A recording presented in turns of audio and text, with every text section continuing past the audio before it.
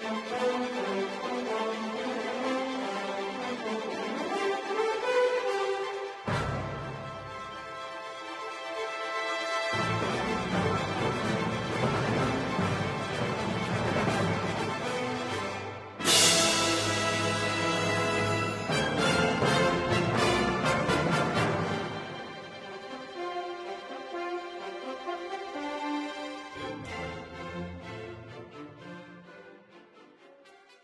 Welcome to the Long Island Pine Barrens Society program. I'm Dick Amper. And I'm Kathleen Nasta. And today we're going to take you out of the studio to a forum in the community that is addressing the problem of the Hills Mega Golf Resort proposed for the Pine Barrens and the Special Groundwater Protection Area located in Southampton. Actor and Long Island environmentalist Alec Baldwin explains. Hi, I'm Alec Baldwin. The biggest and baddest development on Long Island is the proposed Hills at Southampton mega golf resort on some 500 acres of land that is the largest privately owned Pine Barrens parcel remaining on Long Island. The project would include 118 residential units, a 98 acre private golf course, and a 155,000 square foot clubhouse built on four acres with a four acre pond area. The site is also in a state designated special groundwater protection area as well as a Suffolk County designated critical environmental area. The Hills is also part of a group of lands which the Nature Conservancy has given top priority for permanent preservation. All of Long Island's water comes from beneath our feet in a system of underground basins called aquifers. Human activity on the surface introduces contaminants into groundwater, principally nitrogen from wastewater and fertilizer, but also pesticides and toxic chemicals. That's why the hills and other high density development is so bad for the East End's environment. The Hills project is another of the so called planned development districts, which are nothing more than density giveaways to wealthy developers. They compromise water quality, increase traffic, and raise taxes to pay for increased government services required by the new development. Recently, a broad coalition of environmental and civic activists called on the Southampton Town Board to kill the hills and repeal the PDD ordinance. Join us by telling your elected officials to kill the hills and repeal PDDs. Thanks. Thanks, Alex. So this was uh, produced for the community by the Southampton Water Protection Alliance. It's uh, designed to address alternatives to the proposed Hills development that's in the special groundwater protection area, as we said, and come up with an alternative that would actually be better for water protection and the environment all around. Yeah, most important of all, the forum offered real and better alternatives. So let's exactly. watch. Yep. I'm here basically just to reiterate my position in opposition to this project and to urge the Southampton Town Board uh, to really summarily reject this without subjecting the community to uh, any further angst. I think it's. Um,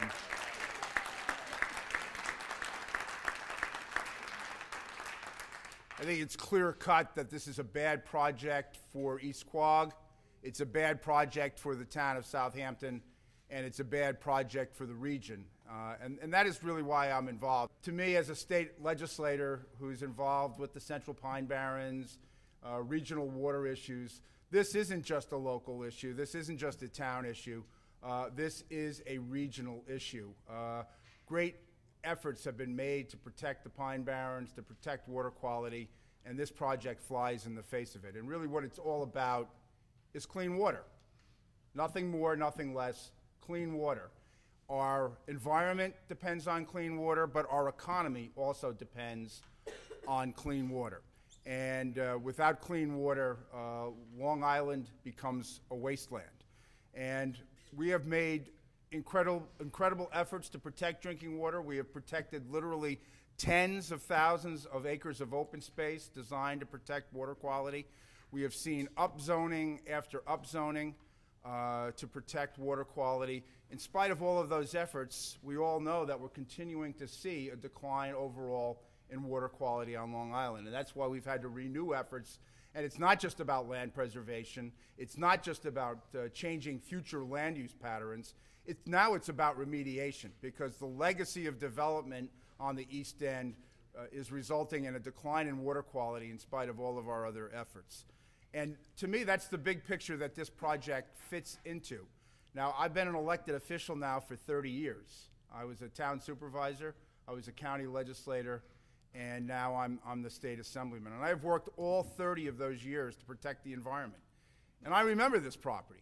I know this property. I know this property very well because when I started with the town of Southampton, because of the water quality resources, this property was upzoned to three acres and to five acres to reduce the density to protect water quality. Subsequent to that, uh, this property was included in the Central Pine Barrens to protect water quality. This property is listed on the Community Preservation Fund list for acquisition to protect water quality. So that is the history of this property. It's important for water quality purposes. It should be protected. And the idea that we're even considering a project that would intensify land use here with a golf course and higher density is ludicrous. The fact that it's even being considered. It is a no-brainer that at a time when we are trying to protect water quality, we are going to spend literally hundreds of millions of dollars to remediate water, that we would at the same time still be making decisions to increase density. So it's a no-brainer. I still, I'm a little frustrated that we're still here after so many years of talking about this. It does not fit in the character of, of our community. It does not fit with all our current efforts. We're a very, very special place. And Qua- Quogue and East Quogue are a special, and Hampton Bays are a special place inside of a special place. We need to protect and defend our water, and this project is moving in the exact opposite direction.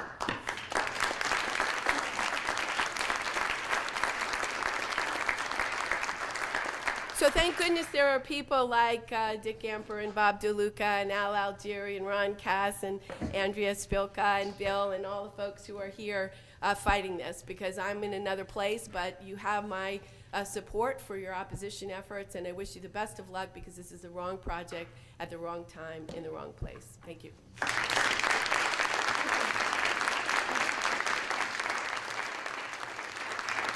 My name is Dick Amper. I'm with the Long Island Pine Barrens Society. We'll try to take you through this uh, event uh, originally scheduled from 10 to noon. We're trying to move it ahead, but there are very, very important solutions to this problem. We are not stuck with either the hills on the one hand or an as of right on the other. As has been pointed out, the town is obliged to take the least environmentally harmful choice, and we want to show that to you. Let us start off, if we may, with how we kicked off this campaign with an outreach to the people of Southampton, and in fact, the people of the East End and of all of Long Island from Alec Baldwin. Broad range of people who are having problems with this. Um, a person who you should know from your community and from his reputation worldwide uh, as a scientist who knows the issues of um, groundwater, drinking water, surface water. the professor from Stony Brook University, Dr. Chris Gobler.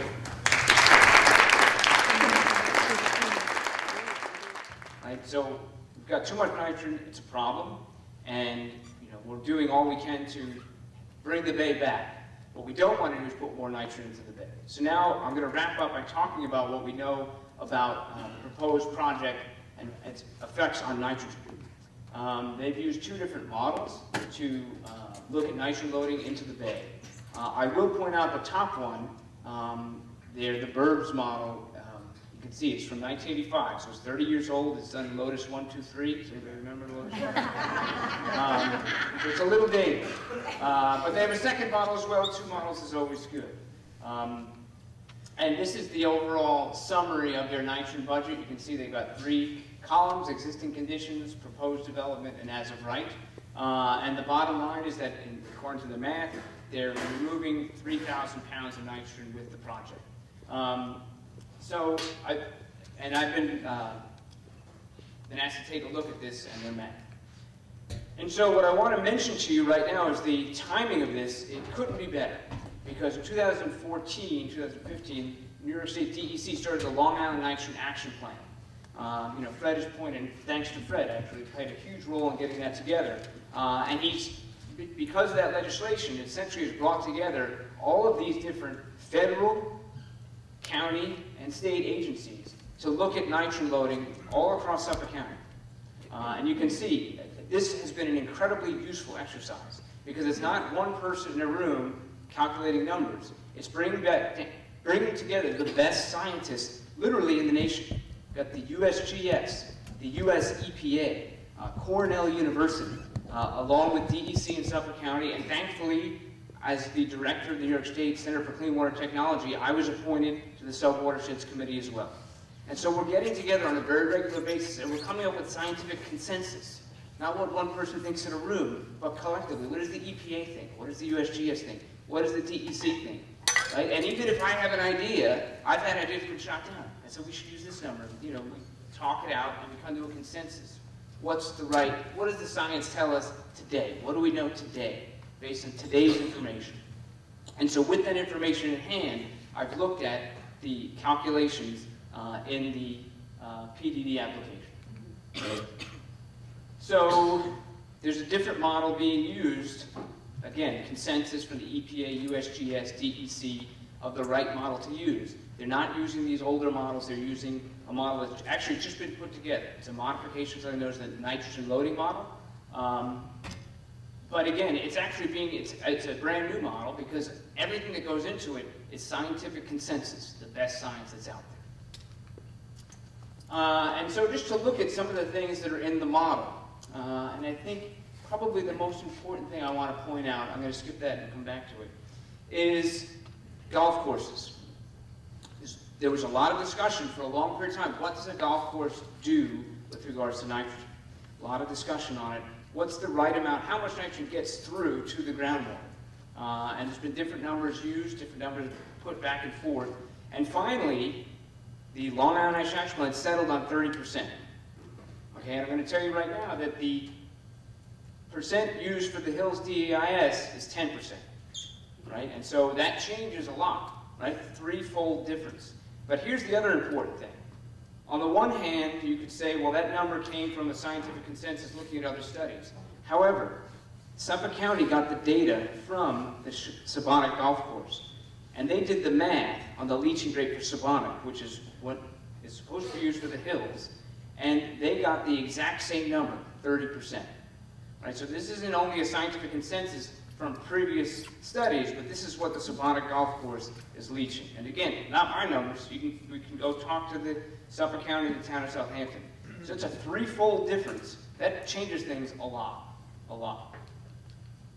And so, for example, um, if we look at the uh, fertilizer application rate of the existing condition, uh, it's supposed to be, uh, it's supposed in the report to be about 1,200 pounds of nitrogen uh, per year.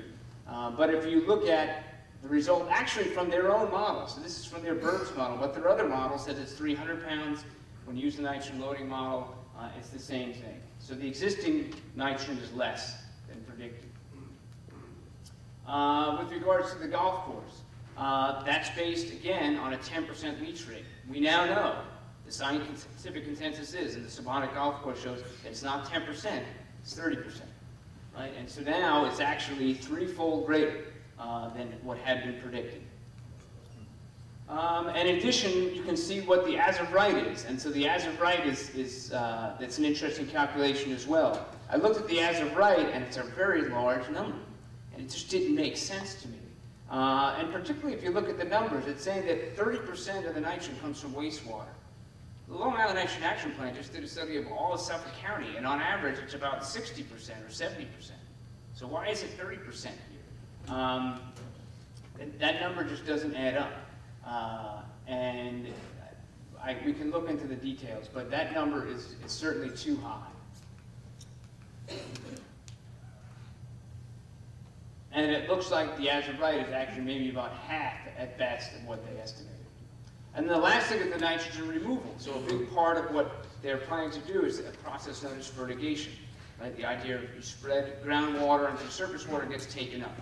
And I already told you that that, that already right off the bat, that's got to be reduced by threefold.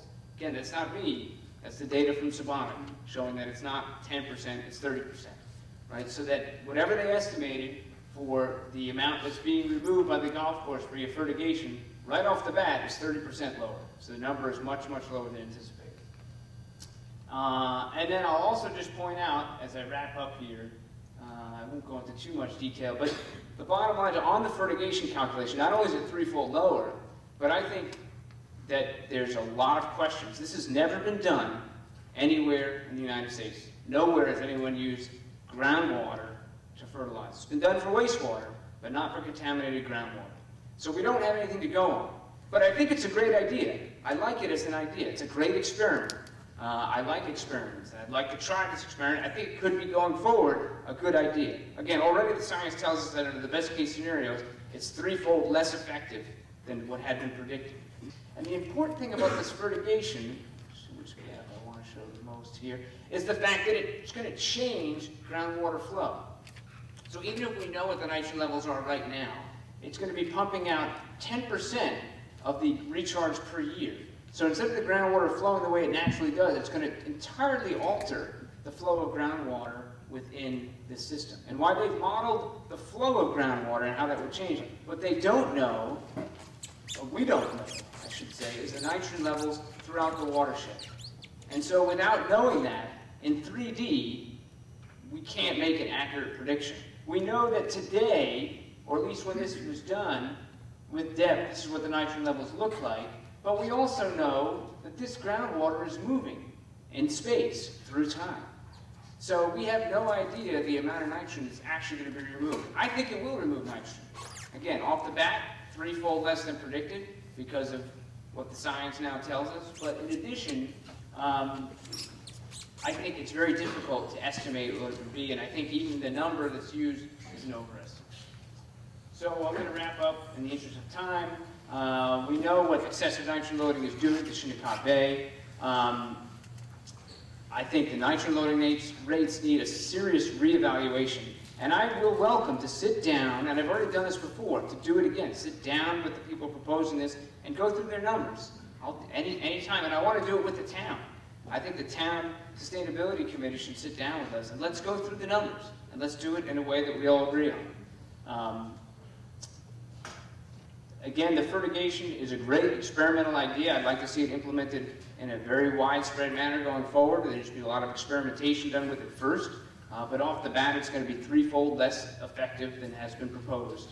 Uh, and if I use the best available science and I go through all the numbers, uh, and I even use egregious amounts of lawns to be fertilized, uh, the numbers that I get show that even if you have full-time occupancy and 120 homes with big lawns, uh, it's still not as much nitrogen as the hills as proposed. Uh, and then hopefully we can come to agreement what's best for our community. Thank you.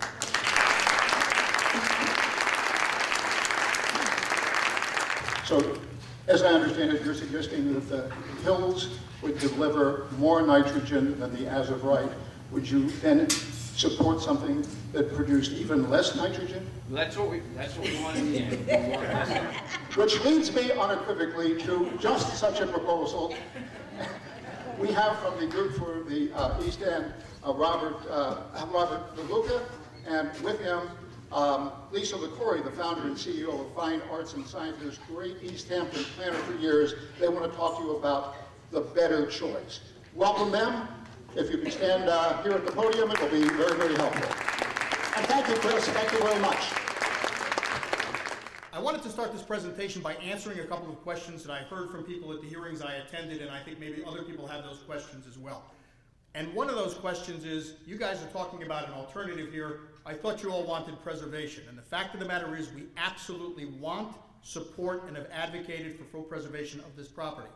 Unfortunately, um, Bridget's vote was not the vote of the rest of the town board, and we are now in an environmental review process for a development proposal that forces us to go to the town and speak about the issues that are relevant to that proposal. It in no way takes away our objective of wanting to have this property protected. You should just understand that because people are like, well, I thought you wanted to protect it and now you're promoting development.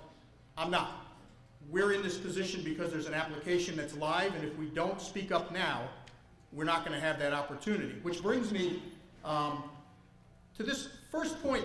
Way back in 1975, the New York State Legislature realized that as development proceeded across the state of New York, there were lots of agencies looking at lots of things, And two things that were left out of that process were the public voice as well as the resources that were being gobbled up by development. And so they created something called the State Environmental Quality Review Act.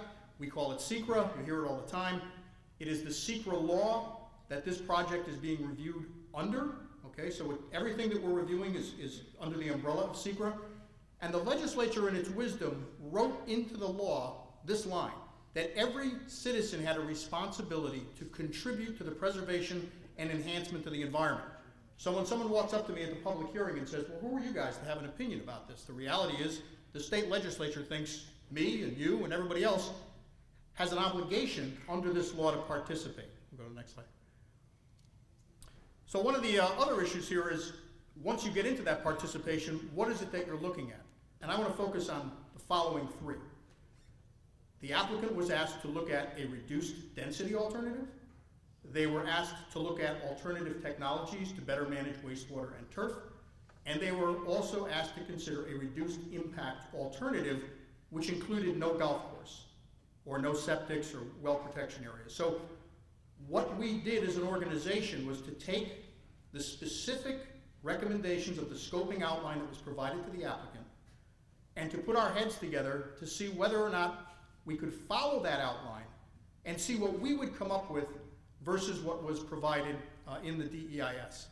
Now, with that as background, and I'm sure you're sick of me, um, I have somebody brighter than me to speak to you, and that's Lisa Liquori, who's, who is probably in some ways one of the most um, qualified people to deal with this because she served as the director of town planning in the town of East Hampton. So she has been on the ground in a municipality looking at zone changes as a professional for close to 20 years in that role and is a qualified planner who's represented community groups and applicants and so forth. So she kind of knows it all. And we got our heads together, and what she's going to do is to provide you with what we found when we did what the state of New York told us to do in the SEQRA handbook and looked closely at comparative alternatives, setting aside that we don't have the power to simply make the project be preserved, what would we do with what we had? And with that, I'll turn it over to you.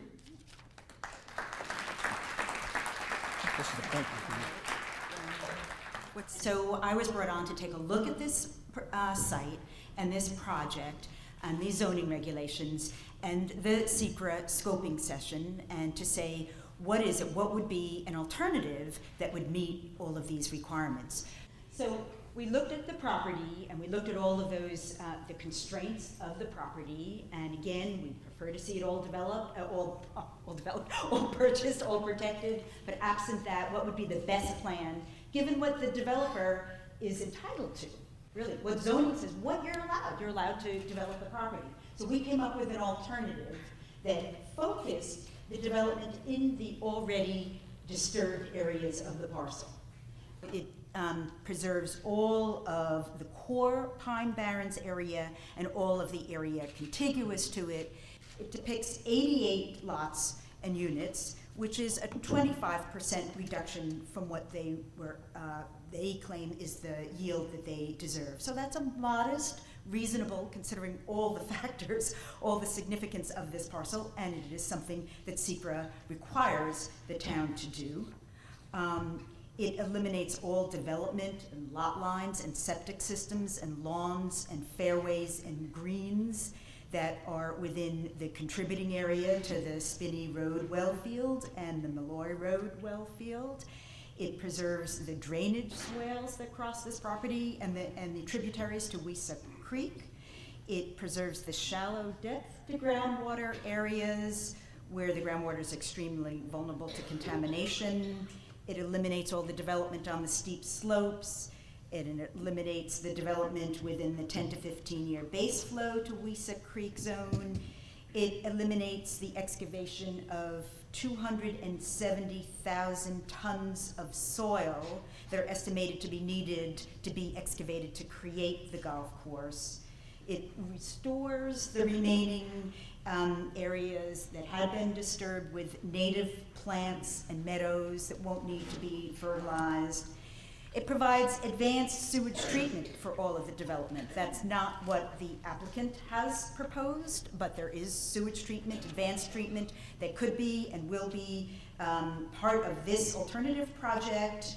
um, it provides multiple attractive, desirable amenities. Uh, the applicant uh, has said numerous times that they want to support a signature lifestyle style with concierge services, and that these are the things that they have to have in order to do the development.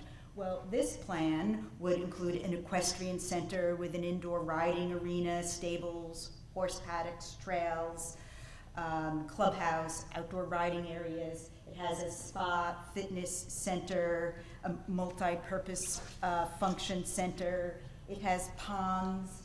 It has um, room for tennis and squash and basketball and outdoor recreation areas, and room for organic gardens and opportunities for food to table gatherings. And it has neighborhood parks and bucolic meadows and multi-purpose trails and nature appreciation all within this concentrated area, so you don't need to be sprawling out over the entire 500 acres. But you could get all of those amenities right there in that area that has already been disturbed. So in terms of the total development area, instead of 167 acres, you have 24 acres, 86% less developed areas. Cleared areas, 74% less, and there would be no fertilized turf in this. Not for the golf course, not for the yards, for anything. You could do a natural meadow habitat. You would have 100% um, more preserved contiguous open space. You would have um, more, uh, less in terms of um, fragmented open space. You would have 78% less water usage. You're not irrigating a golf course. Um, you would have less sewage flow but um, because you would also have sewage treatment, um, you would have uh, 72 to 88% less nitrogen loading, depending on what model that you use. You would have 100% less nitrogen loading from fertilized turf, because that's not included. Uh, you don't need it for development in this area. You'd have 25% fewer residences, and the traffic, you would have a tremendous reduction in traffic generated by the project, between 78 and 75 percent less in their peak hour, using their type of a calculation. So you're giving them really the full development potential for their site. You're giving them high-end resort residential community with multiple amenities, and you've got uh, significant um, environmental savings. Do you have any, any other slides? Oh, good. so what does this look like, just as an example? Is this something that anybody, would I want to live in it? Would you want to live in it? Well, here are some examples of this type of development that exist across the country in places that many of us may have even been into, in, in New England or out west, up in Maine, um, various areas. You've got a kind of a livable, walking, walkable community that's attractive, that's a place where we'd want to live. And that's what this could be developed as you know, suitable to the, the architecture and the style of East Quogue and a nice place to live.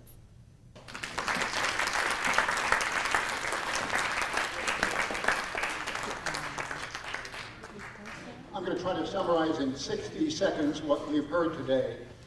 First, first and foremost, we've heard that the environmental community would prefer that this land be preserved. We're never going to know whether that's possible while they're entertaining the application.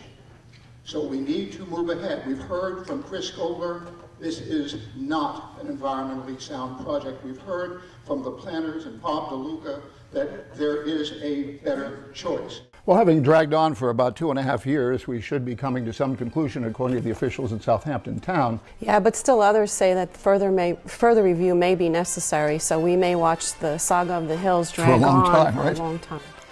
So next time, please join us, and we'll take a look at Suffolk County's and Long Island's water quality decline and preservation program. That'll be an important topic uh, throughout this year. I'm Dick Amper. I'm Kathleen Nesta. We'll see Thanks you next for time. watching.